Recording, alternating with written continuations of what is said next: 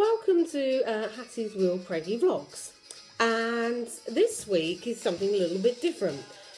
After a lot of people giving me a lot of funny comments, uh, I've compiled a list of the top 10 annoying things people say to you when pregnant. So these are a mixture of my comments and some of my lovely mum friends.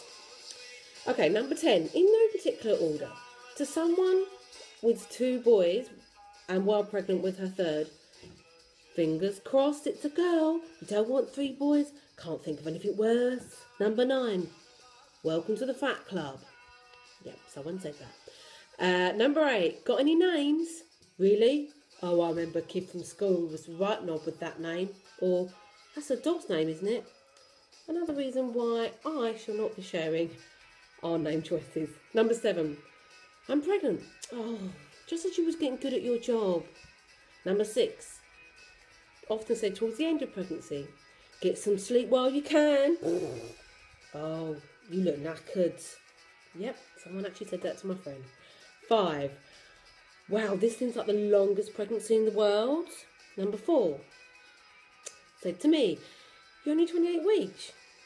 You sure you've not got twins in there? Or you look ready to pop.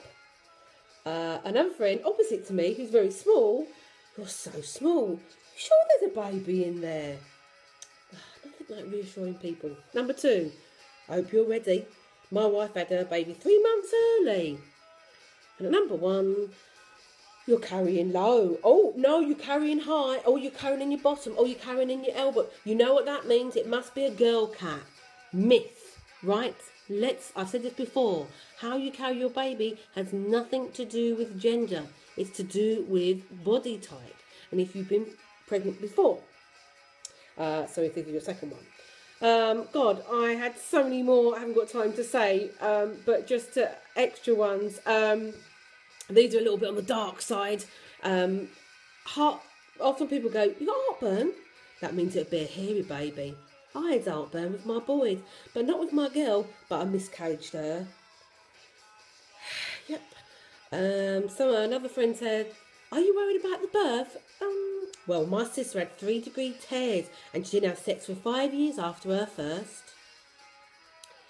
Now, I know essentially people mean well and just struggle to find something to say, but you can just talk about the weather or about how much you're going to help me with babysitting and um, maybe do my toenails because I can't reach them anymore. I've been Hatty Ashdown. I'm still Hatty Ashdown. I'm 29 weeks and um, you've been watching Real Preggy Vlogs. Please follow me on Twitter if you've got any questions or any topics you'd like me to cover. It's at Hatty Ashdown or subscribe now to my YouTube channel. Thanks.